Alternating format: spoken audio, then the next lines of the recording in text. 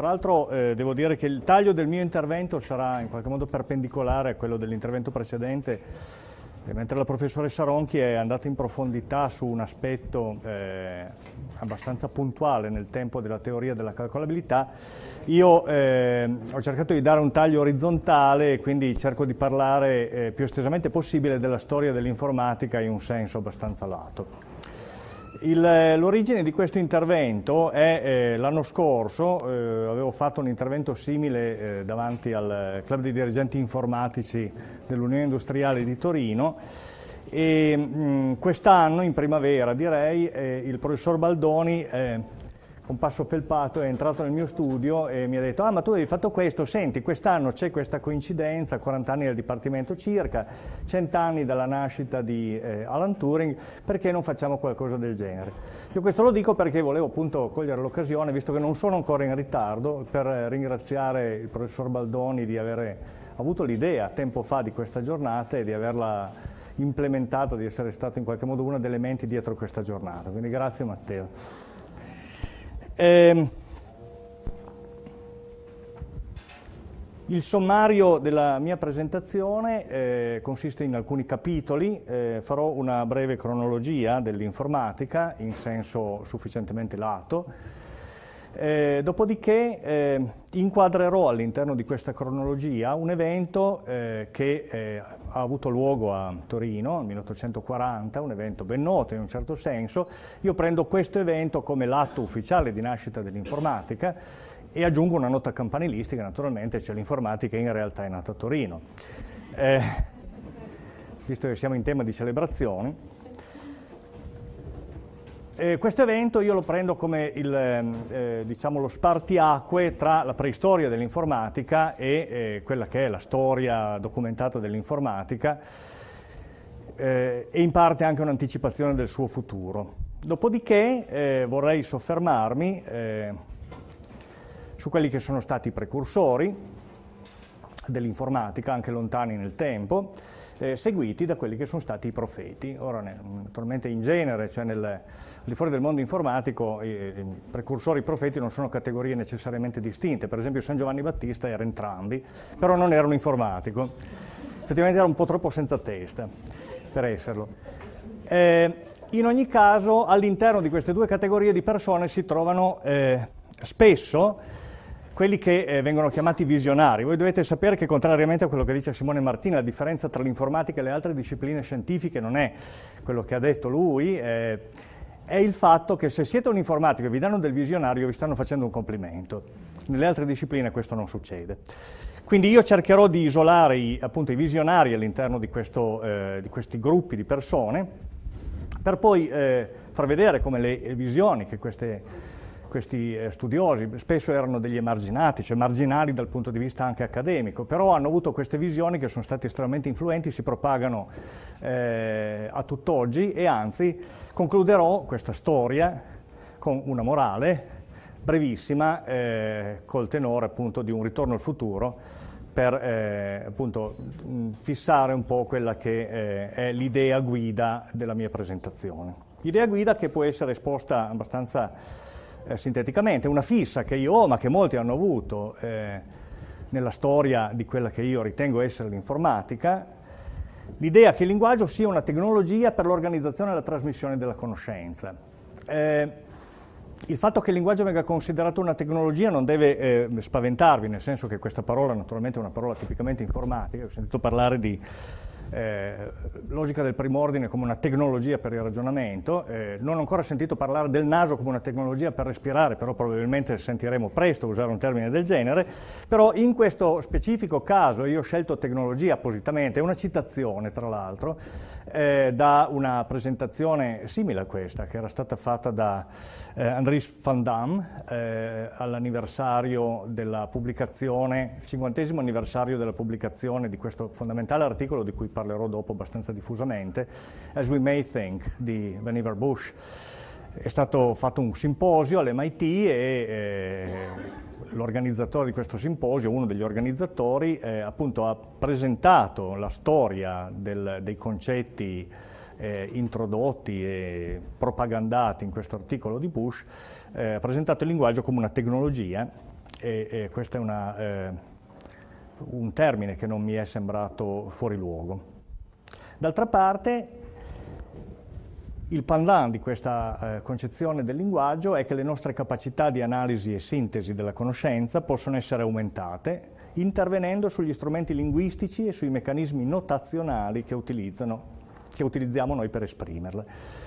E eh, questo appunto è un leitmotiv che troveremo eh, sempre in tutti gli autori di cui parlerò, di cui farò anche soltanto menzione.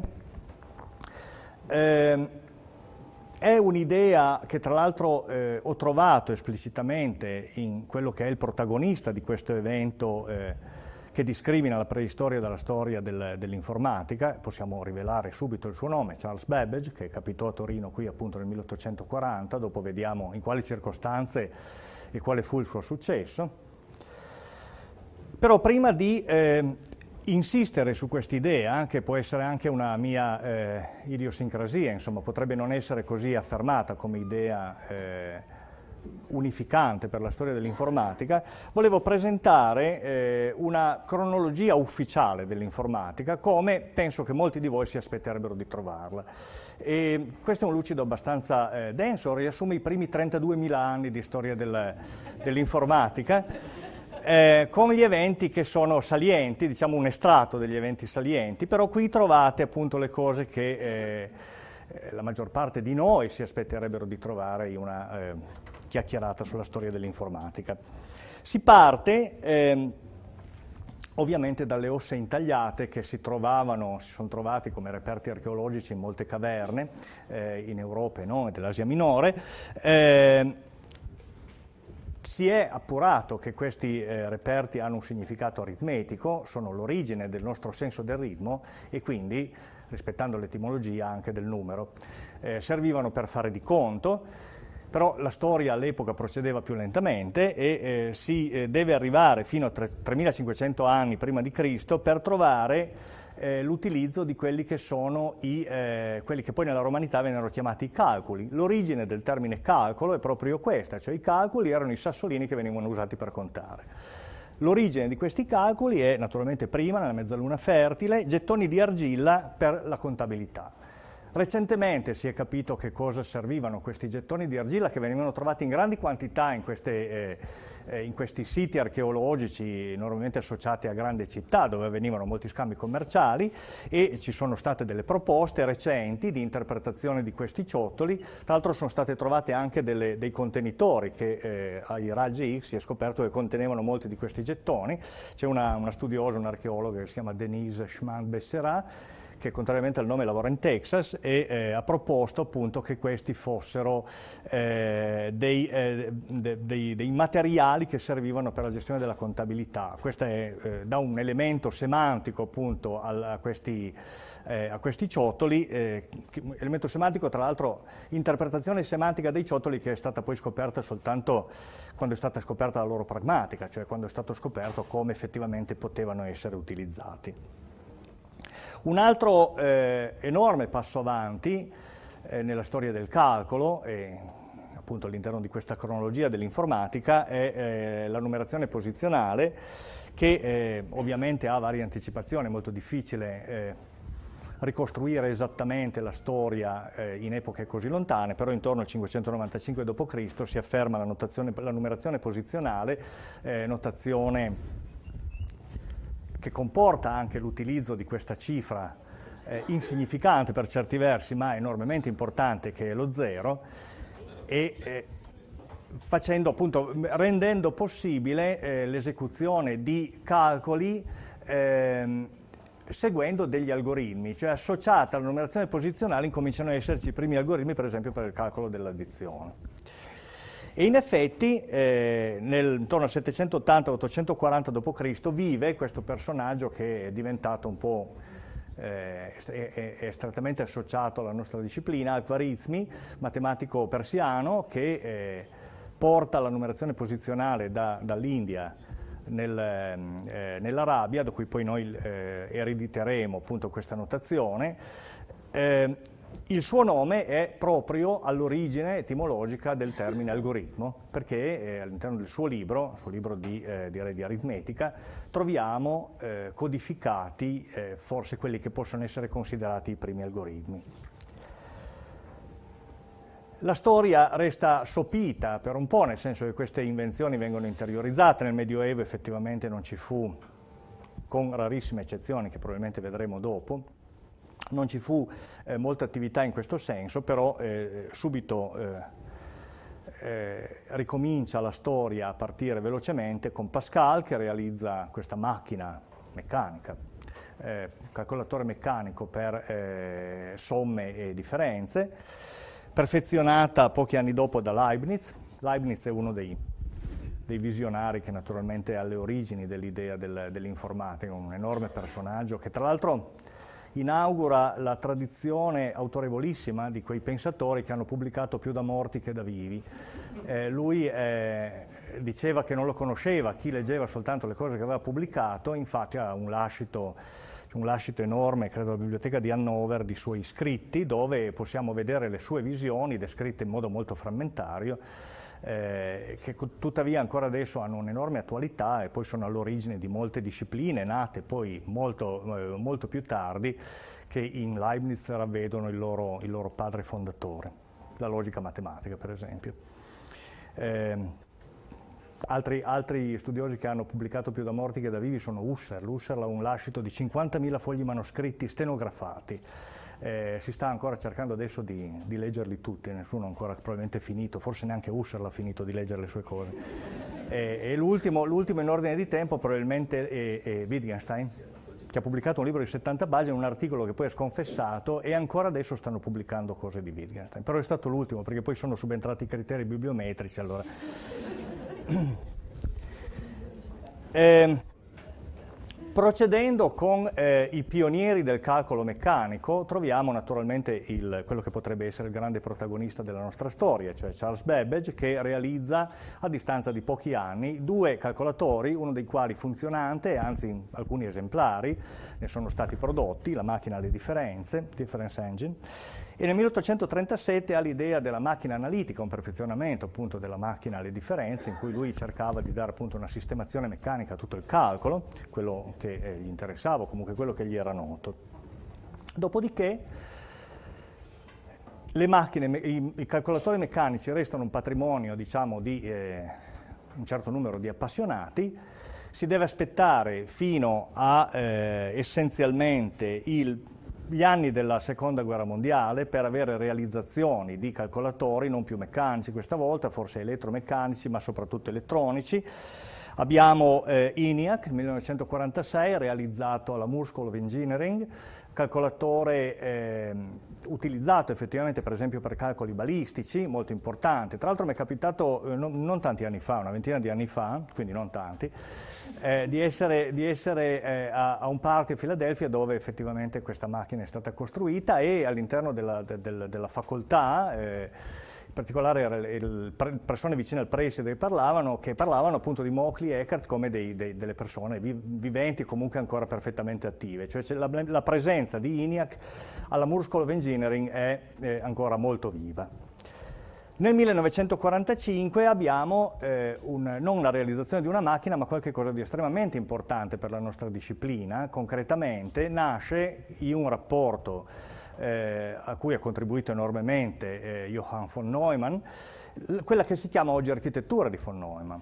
Architettura di von Neumann che comprende prima di tutto macchine con programma memorizzato e quindi una certa versatilità nel, cal- versatilità nel calcolo che ENIAC per esempio non aveva, e poi quella che viene studiata normalmente nel corso di architettura, cioè l'idea che c'è appunto il programma memorizzato in una memoria rapida ad accesso diretto e poi ci sono dei registri attraverso cui eh, vengono prelevati i dati da elaborare all'interno di una memoria.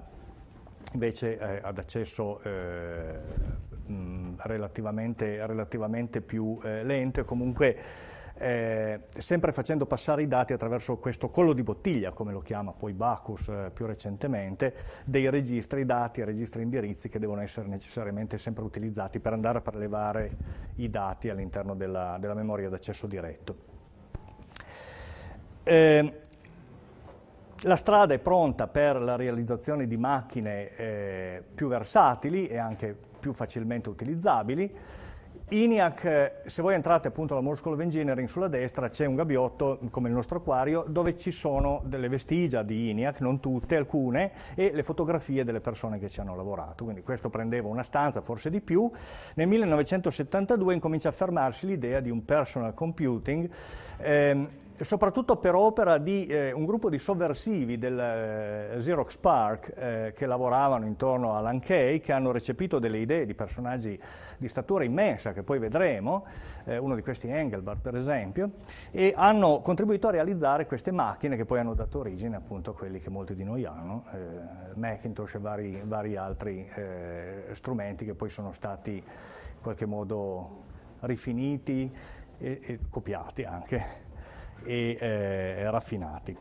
Nasce appunto il Macintosh nel 1984 e nel 1990 susseguirsi molto rapido di eventi, naturalmente poi la storia continua, come dico speriamo appunto se, eh, se non finisce il mondo prima. Nel 1990 il nome appunto di questo dominio info.cern.ch, il primo indirizzo di un server web eh, che è quello del server del, del CERN di, di Ginevra e questo un fa un po' il punto di questa panoramica volo d'uccello sui, eh, appunto, sui primi 32.000 anni di storia dell'informatica perché la storia eh, che segue appunto il web è, è storia recente, è più o meno quello che noi stiamo facendo.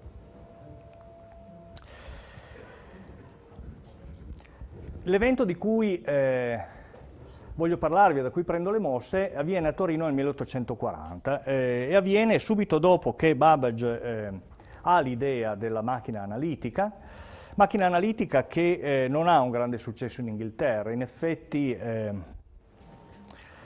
eh, Babbage è molto contento di venirne a parlare in Italia, eh, nel suo paese non ha trovato una calorosa accoglienza che sperava forse, allora viene a eh, Torino e eh, questo evento dovete essere estremamente importante per lui perché la sua autobiografia incomincia con questa dedica, io non ho messo tutto perché non ci stava nel ritaglio, è una dedica a Vittorio Emanuele II. Eh, nel dedicare questo volume a Sua Maestà, io sto anche compiendo eh, un atto di giustizia alla memoria del vostro illustre genitore. Nel 1840 il re Carlo Alberto ha invitato gli scienziati italiani a radunarsi nella sua capitale, a richiesta del suo più dotato analista, Plana, ho portato con me i disegni e le spiegazioni relative alla macchina analitica, questi furono completamente esaminati e la loro verità, cioè la loro appropriatezza, venne riconosciuta dai più eletti figli dell'Italia.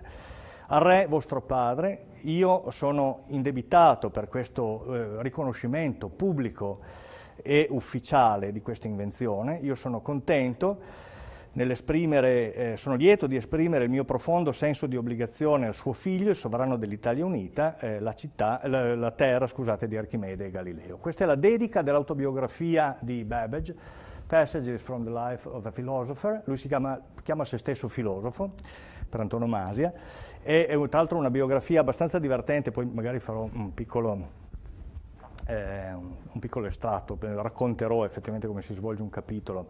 Eh, ci sono anche notizie di vita mondana della corte, insomma è una, cosa, una lettura abbastanza varia che potete fare gratuitamente perché si può scaricare dalla rete. L'inglese non è proprio quello aggiornato, comunque...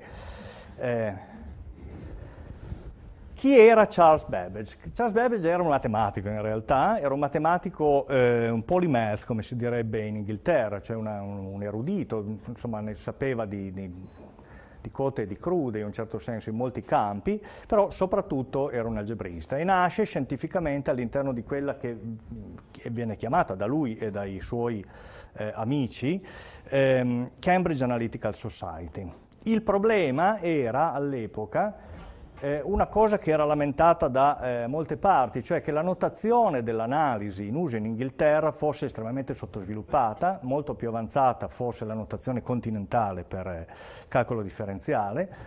Eh, Babbage, assieme ai suoi amici che vedremo dopo menzionati, Peacock e Herschel, Eh, ritiene che sia tempo di finirla, cioè sia necessario importare la notazione continentale che dovrebbe soppiantare quella di Newton del calcolo delle flussioni, quella che eh, annotava la derivata di una funzione con un punto sopra la funzione, sia necessario sostituire questa notazione inefficiente con la notazione di Leibniz eh, d su dx per la derivata di una funzione e scrive addirittura un pamphlet Babbage a questo proposito che si intitola con un doppio gioco di parole The Principles of Pure Deism in Opposition to the Dot Age of the University, che significa i principi del puro deismo, D sta per operatore di derivata, eh, in opposizione alla, alla, demenza senile dell'università, perché dot age è, è, la, è, è appunto questo gioco di parole eh, significa, si riferisce al fatto che le derivate venivano segnate come dei punti, però in realtà la dot age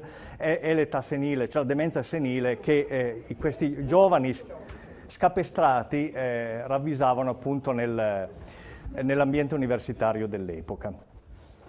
Eh, è molto interessante questo, perché questa è l'origine della fissa di Babbage per le notazioni. Se voi vedete le opere di Babbage, eh, come direbbe mia madre, la fissa di Babbage per le notazioni, compaiono ovunque. Eh, ci sono notazioni naturalmente per la matematica, perché la sua idea era, secondo eh, il motto che ho scelto, è uno dei primi lucidi, cioè l'idea che modificando il linguaggio, perfezionando il linguaggio, noi perfezioniamo anche il nostro, il nostro ragionamento. Ecco, questa idea è naturalmente presa direttamente da, eh, da Babbage, la sviluppa in questo contesto, ma la applica per esempio alla alla descrizione delle, delle, sue macchine.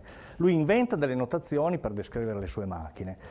Eh, tra l'altro è uno dei primi che vede proprio nella struttura di una macchina un'organizzazione di tipo aziendale. Questa è, è, una cosa che lui eredita da questo matematico francese che si chiama De Prony, che era stato incaricato di eh, compilare delle tavole dei logaritmi eh, alla fine del Settecento. Tra l'altro questo De Prony aveva, era stato influenzato dalla lettura anche abbastanza superficiale forse del libro di eh, Adam Smith, eh, quindi eh, assorbe da questo libro il principio della divisione del lavoro e lo applica alla sua realizzazione delle tavole dei logaritmi. Quindi lui vede questa struttura piramidale di questa azienda che dovrebbe generare ta- le tavole dei logaritmi, al vertice matematici eh, eccelsi che preparano le formule e comunque hanno le idee dei teoremi, una, uno strato inferiore con un numero maggiore di matematici che invece predispongono appunto le formule che devono essere utilizzate e una base della piramide, un plotone di barbieri che fa somme e differenze. Ora, io ho cercato di capire perché effettivamente vengono usate dei barbieri. Io non me ne intendo molto di barbieri come potete immaginare, però eh, sembra che eh, dopo la rivoluzione francese fossero cambiate le mode, molti barbieri fossero eh, disoccupati, allora eh, De Prony avesse avuto quest'idea di impiegare appunto i barbieri per fare somme e sottrazioni usando il calcolo delle differenze, questo è sufficiente per calcolare poi tutte le, le, le cose che interessavano per la realizzazione di queste tavole. E Babbage eh, loda De Prony per quest'idea e eh, in effetti la, la descrive eh, con ammirazione all'interno di un libro che lui aveva scritto, tra l'altro uno dei suoi libri di maggior successo, che però non è relativo alle sue idee eh, computazionali, ma relativo invece alle sue idee di organizzazione aziendale.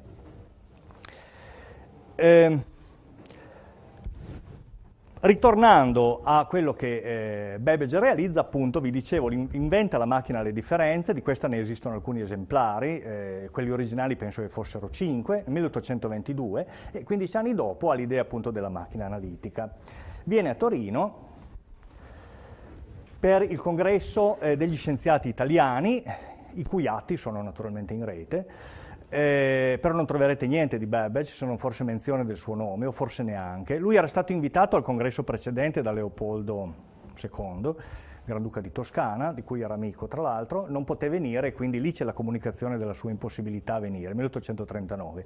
Nel libro del 1840 non c'è comunicazione di questo, però de- della sua partecipazione al congresso, però eh, eh, Babbage racconta di aver portato, probabilmente girava con dei bauli intieri di mercanzia, aver portato dei piani della macchina analitica, delle parti meccaniche e del materiale che serviva per illustrare questo progetto. Tra l'altro io credo eh, chiedo conferma al professor mio e al professor Conte, ci dovrebbero essere questi piani perché sono stati donati all'Accademia delle Scienze. Ci sono tutti i disegni. E lui dice... Manca soltanto il modello in legno che, che, che è sparito. Ah. Aveva portato anche un modello in legno. Un modello in legno, è vero, è vero. I piani sono magnifici anche dal punto di vista del, del grafico. Sì. E non sono mai stati pubblicati. Sì, ah sì? Ah. Sul sito dell'Accademia si trovano Ottimo. un libro di in cui, uscito qualche anno fa, in cui sono descritti. Benissimo, ecco, questa è un'informazione che non avevo, molto bene, grazie. La celebrazione del suo centenario, i ricercatori inglesi a Torino. E sì. Sì, sì, sì, sì, sì. immagino ci fosse Campbell Kelly e questa gente che cura le opere di Babbage. Ehm, quello che viene raccontato di questi disegni è che Babbage affitta probabilmente una- un appartamento a Torino e lui li appende alle- ai muri, alle pareti di questo appartamento, dove riunisce quella che è l'intelligenza, di fatto la scuola di Plana, eh, dell'epoca. ehm, questa intelligenza appunto è eh, capeggiata da eh, Giovanni Antonio Amedeo Plana, allievo di Lagrange, docente di astronomia di calcolo infinitesimale, il fondatore dell'Osservatorio Astronomico di Torino, credo che avesse sede a Palazzo Madama all'epoca, socio della Royal Society di Londra e questo probabilmente è il contatto che ha permesso eh, di eh, invitare direttamente Babbage, senatore del primo Regno d'Italia, del primo Senato del Regno d'Italia. Un'altra ehm, persona importante dal nostro punto di vista è Luigi Federico Menabrea, eh, nato vicino a Chambéry, morto vicino a Chambéry, però di fatto torinese, allievo di Plana, giovane. Plana non aveva tempo di prendere appunti alle presentazioni di Babbage e viene incaricato appunto, incarica appunto eh, Menabrea di farlo. Eh, giovane ingegnere ed ufficiale del genio, scrive un articolo che è il primo articolo di informatica mai uscito, eh, nozioni sulla macchina analitica di Charles Babbage. Questo è un articolo che non si trova così facilmente, io l'ho letto, non è particolarmente approfondito, però è abbastanza interessante. Eh, soprattutto nella sua traduzione inglese che fu fatta appunto da Ada Lovelace, eh, con molte aggiunte tra l'altro, e poi bisogna dire che effettivamente lo vedremo anche dopo, menzionerò questo fatto che Ada Lovelace era più brava di Babbage per fare, per fare i conti, in effetti trovò anche degli errori in cose fatte da Babbage. Anche lui eh, si dedicò alla carriera politica a un certo punto, forse eh, con riluttanza, però eh, è ricordato per una iniziativa abbastanza impopolare, la famosa tassa sul macinato, di cui mio nonno per esempio aveva ancora memoria non particolarmente bella. Eh, un altro partecipante a questi seminari, Ottavio, Ottaviano Fabrizio Mossotti, io non, non leggo bene, i, è l'età proprio. Com'è? Ah, non vedete neanche voi? Dovrei guardarmi più alle spalle. Eh, Mossotti eh, ha questo curriculum sintetico, però è interessante l'intervento di Mossotti che Babbage racconta nel- nella sua autobiografia, nei passaggi relativi appunto alla presentazione della macchina analitica. Eh, gli chiede come si fa a modificare il comportamento della macchina a seconda del- dei valori dei dati che, che devono essere elaborati. Quindi la prima comparsa dell'if then else, dell'istruzione condizionale a due vie, ehm, viene fatta una domanda di Mossotti a Babbage e dopodiché poi naturalmente questa istruzione ebbe una certa fortuna, soprattutto appunto col lavoro di ricostruzione della programmazione strutturata di Böhm e Jacopini soprattutto.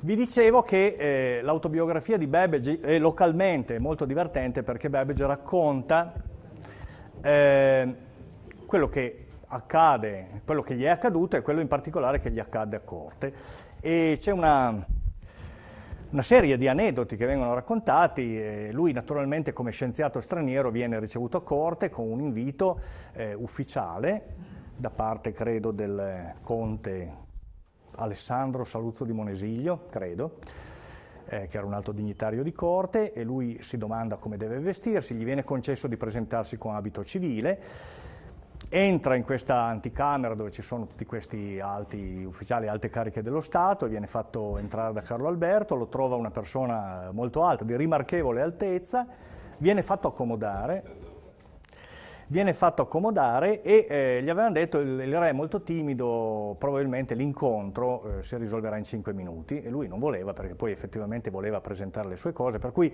con abile strategia di comunicazione finite le formalità, eh, quando il re sta eh, per esaurire appunto gli argomenti, quando si capisce che il colloquio sta volgendo al termine, lui introduce il discorso del telegrafo elettrico, che era un discorso che gli interessava particolarmente, trova l'interesse anche di Carlo Alberto che gli chiede dei chiarimenti, gli chiede che cosa può servire una cosa del genere e Babbage naturalmente gli menziona la possibilità di prevedere le tempeste, per esempio gli parla di una tempesta che aveva buttato giù in Scozia poco tempo prima 30.000 alberi e lui diceva ma insomma con questo arnese voi potete naturalmente da Genova potete segnalare le, le tempeste con grande giovamento ovviamente per la vostra flotta.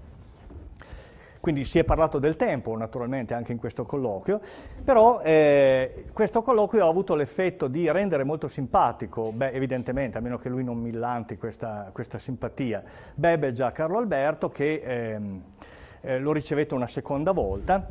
Una seconda volta perché Babbage volle regalare un eh, ritratto di Jacquard fatto col telaio di Jacquard che lui si era procurato a Lione alla regina. All'epoca il protocollo di corte, tra l'altro...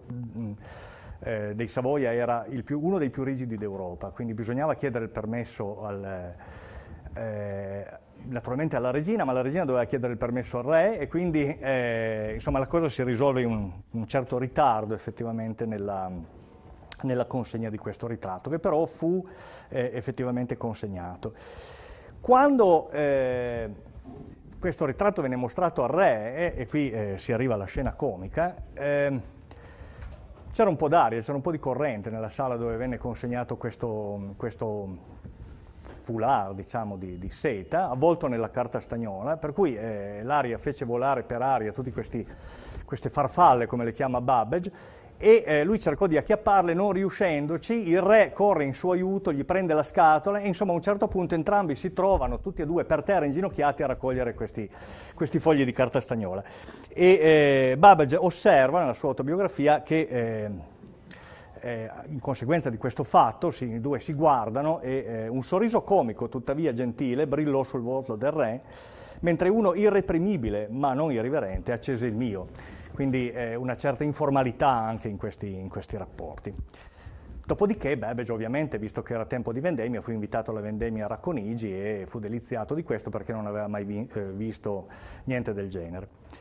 Il successo a corte di Babbage potrebbe essere testimoniato da questo ritratto autentico di Cavour eh, al computer, eh, successivo naturalmente all'evento del 1840, Presumibilmente questo è l'inizio della relazione fruttuosa tra Cavour e le mele, perché questo è un Apple. Ma Babbage naturalmente non nasce in vacuo, nasce eh, sulla, eh, sul terreno fertile di un certo numero di precursori. Questi precursori eh, risalgono anche ad anni molto lontani nel tempo. Vi ho menzionato prima Leibniz, Leibniz è questo eh, gigante della filosofia naturalmente, ma anche della matematica, abbiamo visto prima la notazione per il calcolo differenziale, quella che poi usiamo ancora adesso, deriva da lui. Eh, aveva delle, eh, delle idee strane, per cui poteva essere considerato giustamente un visionario, aveva quest'idea in particolare di una scienza generale, qui continuerete ovviamente a non vedere, la scienza generale scritta in rosso, eh, strumento capace di organizzare i ragionamenti in modo da raggiungere in ogni campo il rigore caratteristico delle scienze matematiche.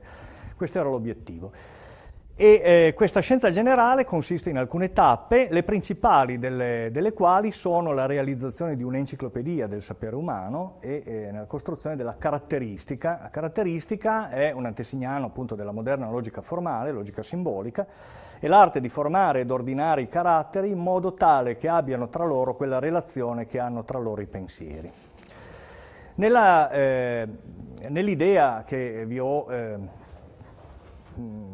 descritto all'inizio, quest'idea che la storia dell'informatica, almeno nella mia visione, si identifica spesso con eh, la storia dei tentativi che vengono fatti per creare linguaggi artificiali, per migliorare le capacità di ragionamento, per creare questi telescopi del pensiero in cui noi possiamo analizzare i dettagli delle inferenze.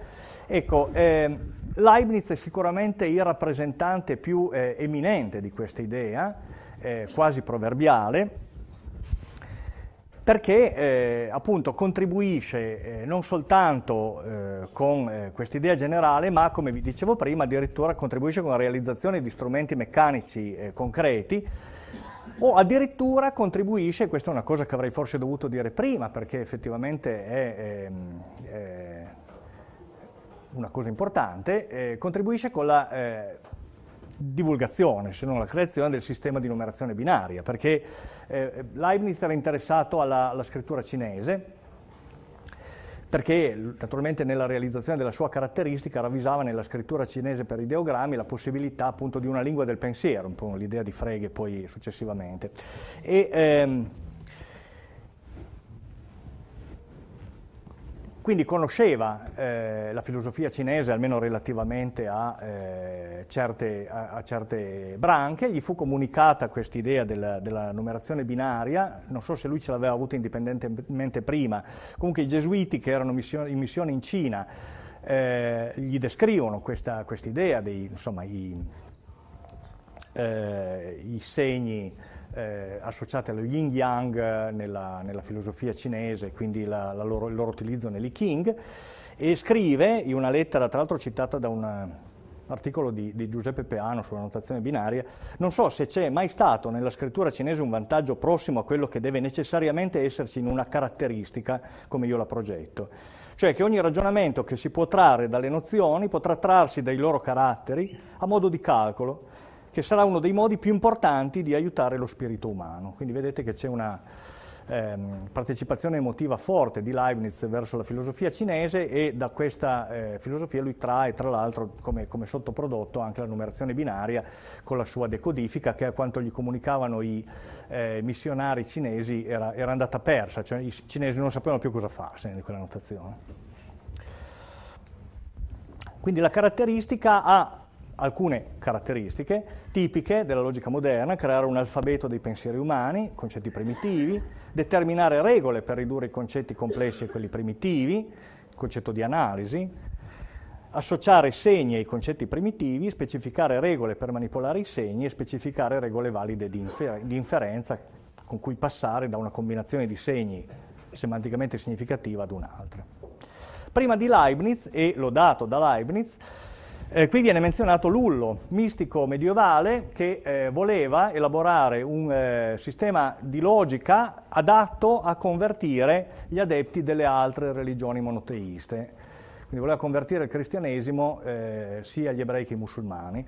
Elabora la sua logica, la sua arte combinatoria e eh, dà origine in effetti a quella che è la matematica combinatoria eh, attuale.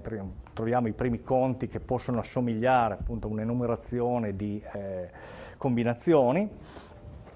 Influenzò Leibniz, che lo conosceva naturalmente, e poi abbiamo subito dopo gli echi eh, di un altro filosofo importante, eh, non tanto per le sue connessioni col meccanismo, però eh, per le sue connessioni con l'ideologia dell'intelligenza artificiale forte. Hobbes viene sempre menzionato per questa sua eh, insistenza sul pensiero come calcolo. Eh, il ragionamento come calcolo nasce come idea nel De Homine, eh, in particolare in questo questa parte del De Homine che si intitola Computatio Sive Logica, nel 1655.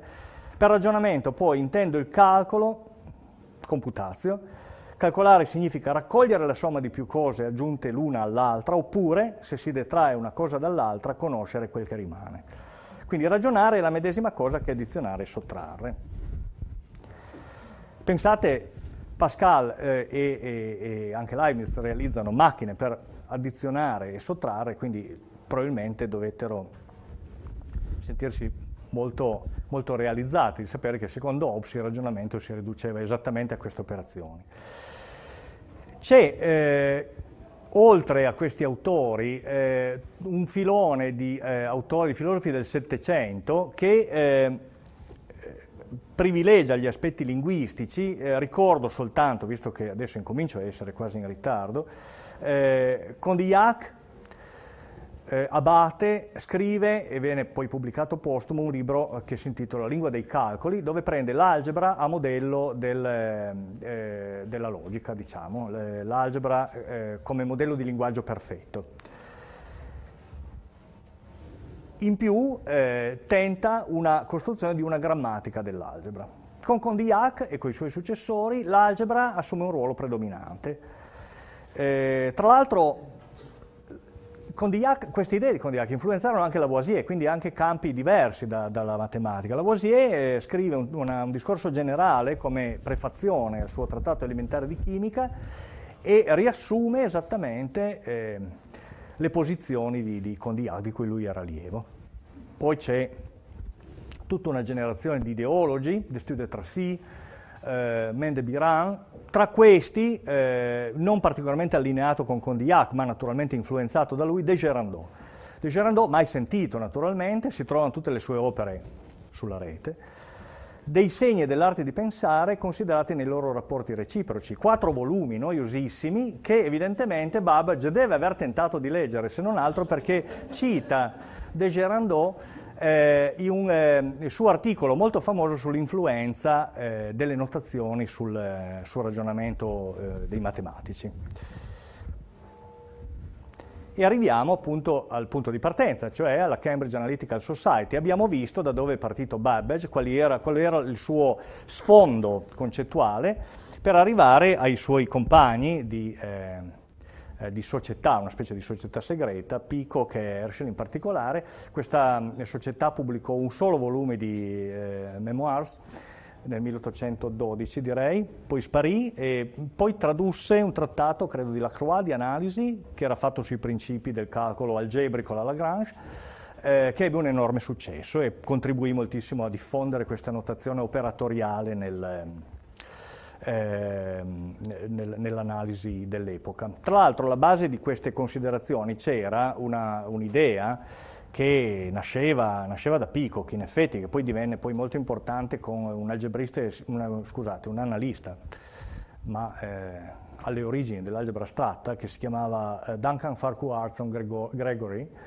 Nel 1840 ha scritto un, eh, eh, un articolo molto importante dove ehm, descriveva questo principio, che è il principio appunto che, eh, a cui portano poi queste riflessioni anche della Cambridge Analytical Society, eh, il principio di separazione dei simboli di operazione dai simboli di quantità. Questa era la tecnica che ha poi permesso la costruzione dell'algebra astratta, eh, separando le operazioni dalle quantità su cui queste operazioni agivano e permettendo di studiare in isolamento le proprietà algebriche, diremmo oggi, delle operazioni, quindi la commutatività e varie altre eh, eh proprietà che poi diedero origine al calcolo algebrico, quindi il calcolo nasce anche da, queste, eh, da questi problemi interni dell'algebra.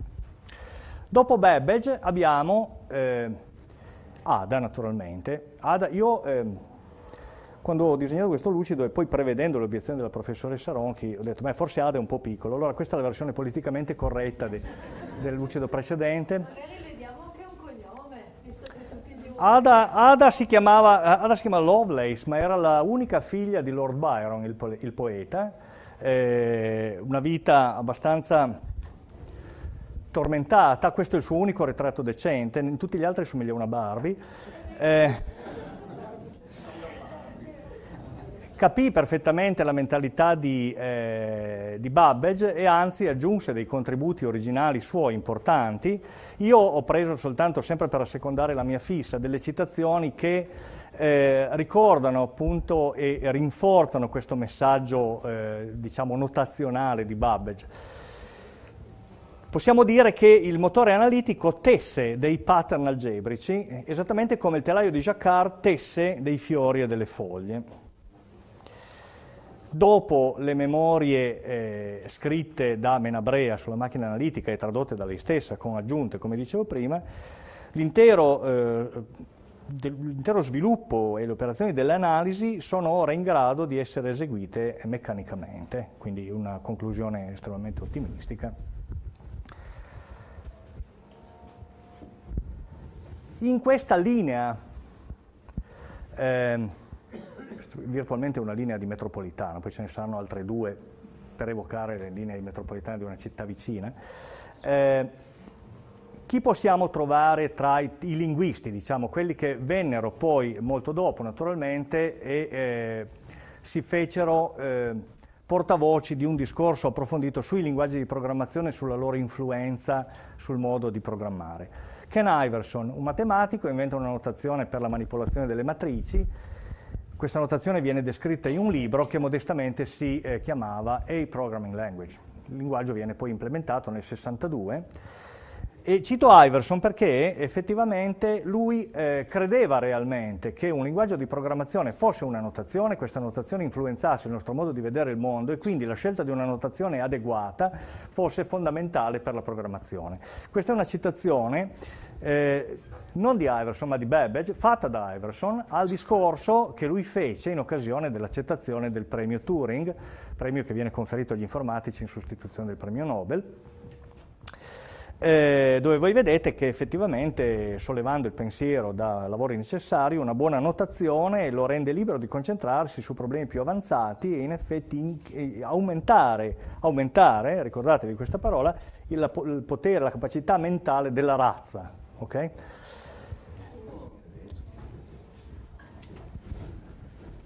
Questa citazione, che era di Babbage naturalmente, eh, ci introduce direttamente ai profeti. Però io per, eh, per parlare dei profeti, visto che probabilmente eh, è tardi, voi siete già annoiati, ho pensato di eh, introdurre un piccolo gioco a premi, senza premi. Che cosa vi ricorda questo libro? Io eh, questo libro non l'ho mai letto, ma ne ho sentito parlare a pranzo dal professor Berardi, che me l'ha raccontato con vividi dettagli, quindi è come se l'avessi letto. Però l'autore è Douglas Adams, questo, che eh, cosa c'entra con l'informatica? Allora, ecco, questo è il gioco premi. Che cosa c'entra Douglas Adams con l'informatica? Non suggerire, Stefano. Come? Avendo letto il libro o non avendo letto? Perché avendo letto è facile. In realtà, no, in realtà non serve leggere il libro, no, è, è, proprio quello il mio punto, non serve leggere il libro. Allora, la prima con- io mi sono divertito con questo gioco di associazioni, prima connessione, Monty Python, lui è, autore, è stato un autore della BBC e ha scritto almeno un episodio della serie Flying Circus di Monty Python e come sapete i Monty Python hanno dato il nome al linguaggio Python. Eh, un'altra connessione dei Monty Python e quindi di Almas con l'informatica è che la parola spam nasce da uno sketch dei Monty Python in cui la carne in scatola, spam, che veniva mangiata nel dopoguerra dagli inglesi perché non c'era nient'altro di meglio, eh, viene usata per riempire questo menù eh, che prevede eh, uova e spam, uova e pancetta e spam, uova e, e spam e spam, e questa è l'origine appunto del concetto di spamming, no? vedete questa crescita esponenziale di spam. Un'altra connessione è con i Procol Harum, famoso gruppo progressivo inglese, 1967 esce questo, questo, eh, questo disco, A Wider Shade of Pale, con un tema di organo meraviglioso, copiato un po' da Bach, però effettivamente eh, non del tutto, l'organista Matthew Fisher è laureato in informatica. È laureato in informatica al Wolfson College di Cambridge, dove, di cui è diventato anche un Distinguished Fellow, probabilmente non per motivi informatici, però si trova appunto in questo elenco di Distinguished Fellows assieme a Tony Hoare, eh, Samson Abramsky e Robin Gandy, che era amico e allievo di Turing, e qui ci ricolleghiamo con l'intervento precedente. Però più che tutto, a parte gli scherzi, eh, Douglas Adams ha realizzato un documentario che voi potete vedere a questo indirizzo, il primo documentario sul concetto di ipertesto. Quindi in questa eh, avventura di perfezionamento dei nostri sistemi notazionali sono arrivato ai visionari veri, nel senso informatico, sono arrivato a, eh, ai profeti dell'ipertesto e quindi a un filone diciamo, di sviluppo dell'informatica il documentario si intitolava Hyperland, abbastanza interessante, e in questo documentario vengono presentati quelli che sono i pionieri del concetto di ipertesto. Prima di tutti Van, Vannevar Bush, eh, personaggio gigantesco, eh, sia per eh, importanza intellettuale sia anche per potere politico. Eh, queste sono le sue cariche, non approfondisco eh, la lettura di questo elenco. L'elenco delle sue lauree ad honorem credo che prenderebbe eh, più di un lucido. Eh, ha eh, realizzato una macchina, magari la menziono dopo, questo analizzatore differenziale che è una macchina analogica per il calcolo, che tra l'altro venne usato poi ancora fino agli anni 50, anche per calcoli balistici durante la guerra. Eh, è bello eh, che questa persona con un immenso potere politico ha comandato eh, 6.000 scienziati di fatto come responsabile durante la seconda guerra mondiale. Tutti i lavori in qualche modo connessi con la guerra erano eh, controllati da lui, che era capo di questo ufficio. Alla fine della guerra scrive questo meraviglioso articolo che si intitola As We May Think, eh, che è, ehm, che è un, un diciamo, una proposta di un nuovo strumento che dovrebbe permettere agli uomini di eh, organizzare la conoscenza raggiunta e accumulata proprio durante il lavoro bellico. Non è un eh, compito così circoscritto, lui eh, si strugge realmente per il fatto che qualche cosa possa andare perso della conoscenza umana e inventa la macchina che si chiama Memex, eh, proprio motivandola con l'esigenza che noi abbiamo di eh, fare ordine e di trovare tracce all'interno di questa enorme montagna di ricerca che era stata prodotta appunto durante la guerra e che eh, si potrebbe dire continua a essere prodotta adesso.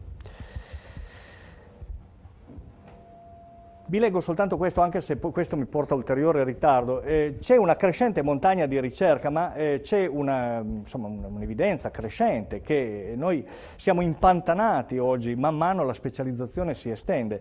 Il ricercatore è eh, sopraffatto dalle, dalle scoperte, dalle conclusioni di migliaia di altri lavoratori, conclusioni che non può trovare il tempo di afferrare, molto meno di ricordare, man mano appaiono. Tuttavia la specializzazione diventa sempre più necessaria per il progresso e lo sforzo di stabilire un ponte tra le discipline è eh, superficiale in modo analogo, è proporzionalmente superficiale, scusate. Le leggi della genetica di Mendel furono perse eh, per il mondo per una generazione perché la pubblicazione non raggiunse i pochi che erano veramente in grado di capire. Voi vedete quest'uomo si strugge realmente per, eh, eh, per questa impossibilità appunto di eh, dominare eh, la, la, conoscenza. Il Memex è questo congegno di uso individuale che è una specie di eh, biblioteca privata meccanica, eh, Memex è Memory Extension, è un acrostico, un Memex è un congegno in cui eh, un individuo memorizza tutti i suoi libri, i suoi, sue, i suoi appunti, le sue comunicazioni, che è meccanizzato in modo che possa essere consultato a grande velocità. Naturalmente intervenivano delle scoperte tecniche, tra cui eh, quella anche dell'accesso rapido ai microfilm che lo stesso Bush aveva fatto. Nasceranno forme interamente nuove di enciclopedia, pronte con una rete di eh, piste associative, trails è un termine tecnico, che le percorrono, pronte per essere fatte depositate nel Memex e lì eh, amplificate. Questo discorso naturalmente nasce con, tecno- con tecnologia povera, eh, non adatta al, appunto, alle ambizioni, però eh, è un discorso che viene raccolto da, da Gengelbart, che realizza un certo numero, implementa un certo numero di strumenti, tra cui il mouse, eh, che serviranno poi a eh, implementare questa, questa grande visione di Bush tra l'altro eh, Engelbart scopre l'articolo di Bush in una capanna delle Filippine di Bita Biblioteca. Lui era in guerra, era in marina, entra in questa capanna e cercava qualcosa da leggere, gli viene in mano l'Atlantic Monthly dove lui legge l'articolo di, di, Bush. Anni dopo, alla fine della guerra, eh, ancora con questa idea di questo articolo, questa suggestione eh, dell'articolo, scrive tra l'altro Bush e eh, gli racconta la sua idea, poi non so come sono andati a finire questi rapporti, però sicuramente Engelbart è un personaggio molto influente, lavorava all'SRI a Palo Alto, eh, è un inventore essenzialmente, forse uno degli inventori più, eh, più importanti del secolo per certi versi. Anche, anche, a lui si deve il concetto di ipertesto, perfezionato a partire dalle idee di Bush, e anche il concetto di word processing. Passiamo rapidamente a un altro visionario, Ted Nelson, progetto Xanadu 1960, questa è l'invenzione del termine ipertesto. Il, il, il, termine, il concetto non è suo forse, ma il termine ipertesto l'ha inventato lui. Con ipertesto intendo scrittura non sequenziale, un testo che si può ramificare e che permette scelte al lettore, e non ristretto dal l'ordine sequenziale, noi possiamo creare nuove forme di scrittura che riflettono meglio la struttura di quello di cui noi stiamo parlando. Non è nuova questa idea, per esempio qui voi avete un testo non sequenziale che è un po- una famosa poesia di Mallarmé scritta alla fine dell'Ottocento, quindi ci sono composizioni dei, dei futuristi, insomma le parole libere, eh, i calligrammi di Apollinaire, eh, esperimenti di Ardengo Sofici, però l'ipertesto è qualcosa di diverso, è qualcosa che permette appunto di rendere versatile un testo, adattarlo alle, alle esigenze di, di, un individuo che appunto provvisto di un memex funzionante un po' meglio di quello di Bush eh, può sfruttare questa versatilità. Infine Alan Kay, Alan Kay è quello che raccoglie queste idee, vede come suoi precursori Bush Engelbart e Ted Nelson e realizza quello che è il personal computing attraverso sue, eh, i suoi esperimenti con i bambini nelle scuole di Palo Alto, andava, faceva usare il computer e realizza quella che noi oggi eh, siamo abituati ad utilizzare come interfaccia grafica, realizza un linguaggio di programmazione meraviglioso che si chiama Smalltalk, un linguaggio orientato agli oggetti, non il primo ma forse il più influente, prima c'era Simula, eh, in qualche modo è all'origine del, della nostra concezione dell'object orientation adesso. Ecco, dopo Babbage che cosa c'è? Ci sono varie altre linee di metropolitana, vi ho già menzionato Bush con l'analizzatore differenziale, eh, non voglio insistere, però voglio soltanto dirvi che Shannon è stato allievo di Bush eh, in questo progetto. Shannon è nato lì. Anzi, Credo che eh, l'articolo di Shannon sull'uso dell'aritmetica binaria, dell'algebra di Boole per modellare circuiti a relè sia nato nel contesto proprio di questo lavoro. E poi c'è una tradizione che è quella in cui si è inserita la professoressa Ronchi prima di me, ed è la tradizione della logica matematica. Io ho menzionato Gregory come algebrista, è un po' all'origine dell'algebra della logica, almeno così dice Francesco Barone in questo suo libro Logica formale e logica trascendentale. Effettivamente è un'analisi convincente, seguito da molti altri. Una linea in cui possiamo trovare degli altri profeti che eh, nel 1936 danno origine a quello che qualcuno ha chiamato un miracolo, non molto miracoloso in realtà, comunque l'idea che nel 1936 si definisce un concetto assoluto eh, di calcolabilità, di funzione calcolabile meccanicamente, appunto attraverso i lavori di Turing, attraverso però i lavori di Kleene, di Church, di Curry, di Post. Post è stato particolarmente scalognato perché ha lavorato su questo tema nel 1920, poi il suo lavoro non è stato riconosciuto, ha dovuto poi scrivere dopo delle cose meravigliose, però eh, appunto di molto posteriori al, 40, al, al, al 36, c'è un articolo famoso del 43 molto bello, ma ormai era tardi. E questo è il filone della logica matematica. Profeta, e io ne scelgo uno, è Giuseppe Peano, perché Peano, sempre in questa idea che io sto propagandando di informatica come sforzo di una razza di perfezionare le notazioni per migliorare le capacità di calcolo, ecco, veramente Peano è stato un profeta. E questi sono giudizi non di Peano, ma su Peano, dati da eminenti personaggi della linea che vi ho fatto vedere prima, cioè la linea della logica matematica, la linea rossa. Eh, Russell diceva che vi sono al massimo una dozzina di concetti dai quali sono formati tutti i concetti di tutta la matematica pura, geometria compresa. Il professor Peano, il quale aiutato da una preparatissima scuola di giovani discepoli italiani, ha dimostrato come lo si possa fare. E Hilbert addirittura, menzionato prima dal professoressa Ronchi, eh, dice che uno strumento indispensabile per la mia teoria della dimostrazione è l'ideografia e si devono all'autore classico di questa ideografia, Peano, la più scrupolosa accuratezza e la più estesa elaborazione. Aveva già dimenticato il suo epistolario con freghe, eh, Hilbert eh, era già molto, invece molto favorevole all'ideografia di Peano. Ieri il profeta Peano scriveva così, in latino sineflexione, ultimo sine, sì, flexione. Ultimo in tempore e non minus interessante de precedentes es calculo logico incepto, incepto ab Leibniz et secuto par Bule, eccetera.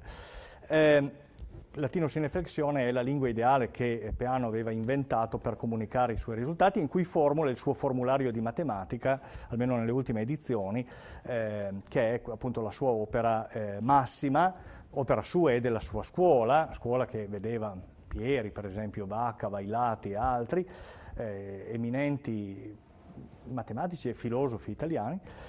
Questo è il principio di induzione. io eh, la prossima settimana incomincerò a fare logica, eh, non lo farò così il principio di induzione, però Peano lo scriveva così.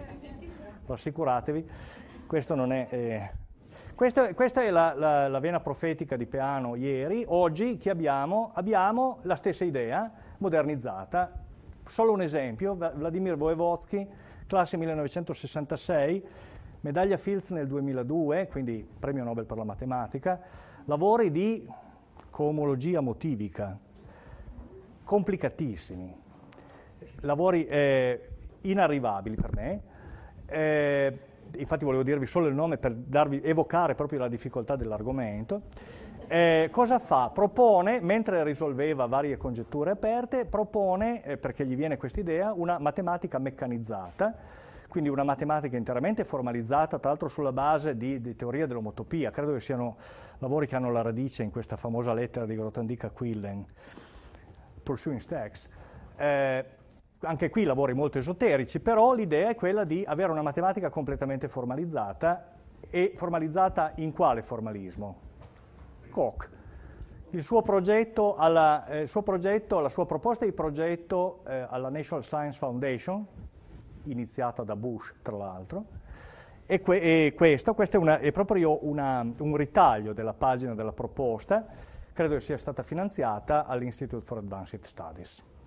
E questo è dove ci porta la profezia della generazione diciamo, dei logici, della linea dei logici oggi. Questa è una proposta dell'anno scorso. Per concludere, ho approfittato fin troppo della vostra pazienza, abbiamo visto la storia, vi ho raccontato la storia come se fossi un nonno davanti al caminetto che parla ai nipoti.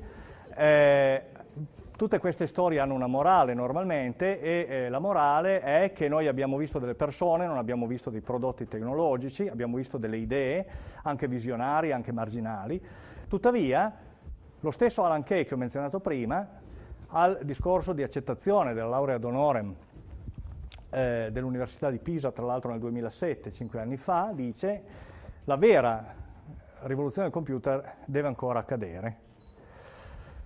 Ora, questo può sembrare drammatico, io credo che sia opportuno ritornare al passato per eh, per prendere slancio per il futuro, per prendere idee. D'altra parte, se non ci ricordiamo chi eravamo, non sappiamo neanche chi siamo. Eh, lo stesso eh, Kay diceva che il, il, futuro si può prevedere soltanto inventandolo, e questa è un, una citazione celebre di Kay, però ho scoperto che non è di Kay in realtà, eh, l'ho cercata negli articoli di Kay, è un oscuro rapporto tecnico di Kay, c'è effettivamente questa citazione di Cesare Pavese. Cesare Pavese ha studiato al D'Azeglio come me, come la professoressa Ronchi, quindi è torinese anche lui. Eh, cosa possiamo rispondere? Ci stiamo lavorando. Grazie.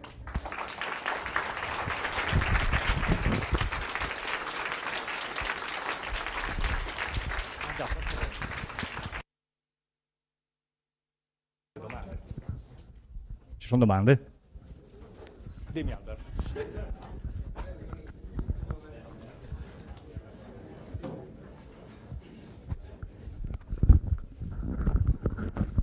Parlando di attività clandestina, sì. come quella di Xerox Park, sì. che ha condotto al primo personal computer, secondo la tua presentazione, sì. non dovremmo dimenticare che il primo personal computer è arrivato da Ivrea e si chiamava il programma 101, aveva anche un nickname che si chiamava la Perottino, perché era ah, fatto sì. da quattro ingegneri di cui il capo era Perotto, ah, eh? lavorando in clandestinità, perché la direzione di Olivetti non era d'accordo di fare i calcolatori elettronici, volevano macchine elettromeccaniche da vendere alle banche, alle poste, eccetera. E la scoperta di questa macchina al mondo e però venuto in America perché quando l'hanno presentato al World's Fair nel 1965 a New York era stato rimesso in una piccola stanza accanto a quella che presentava le macchine elettromeccaniche di Olivetti. Ma c'erano degli americani curiosi che hanno, sono andati in quella stanza e hanno chiesto la dimostrazione. E quando la programma 101 in pochi secondi aveva, parti- partendo dal suo programma, che era su una scheda magnetica, ha calcolato l'orbita dei, di satelliti che, in- che era un argomento molto in voga in quegli anni, erano veramente affascinanti. Per cui io darei un po' di credito per il personal computer al lavoro clandestino fatto a Ivrea. Sì, evidentemente non sono stato sufficientemente campanilista, grazie. grazie.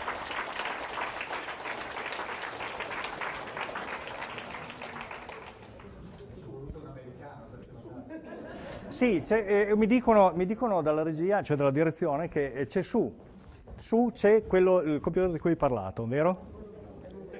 Perfetto.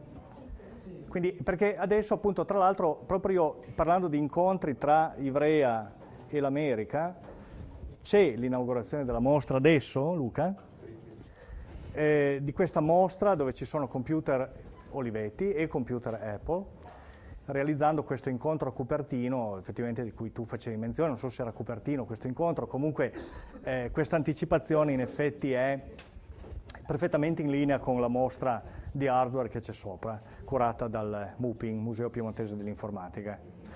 Grazie per queste informazioni.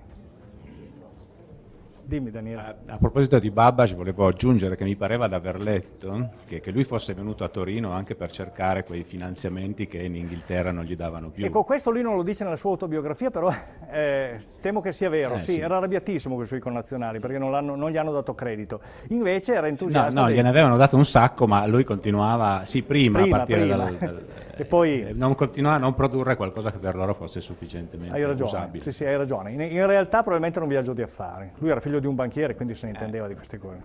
Grazie. Volevo solo aggiungere a proposito della perottina che il 90% di macchine però, questa macchina, questo computer, furono vendute negli Stati Uniti. Ah. Bene, grazie.